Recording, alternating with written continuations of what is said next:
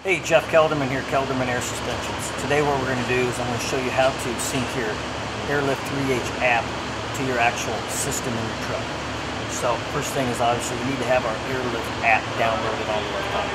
First thing we got to do is we got to turn on the Bluetooth pairing on the actual system in your truck. So what we're going to do is we're going to hit the Airlift button and the button above it at the same time. It's going to bring up an actual menu.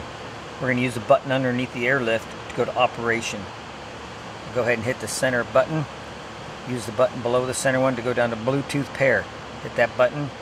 We got to make sure this is on. So, all right, Bluetooth's on. Now we're going to go ahead and go back. Okay. So the other thing we're going to do next is we're going to hit this little sprocket looking wheel in the corner.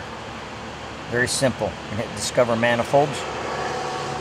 It's going to spin for a couple seconds. Got Airlift 7E19. I'm going to tap on that guy. It's going to sync. When that stops, you hit done. And right there, what is perfect mirror image. You can use this, you can walk around the truck. It works great for calibrating your system. Works great for hooking up a trailer. You can back up.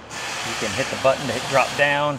You can you can go up and down with your buttons. Come back, hit that airlift two times. It's to go right back to the to the right height.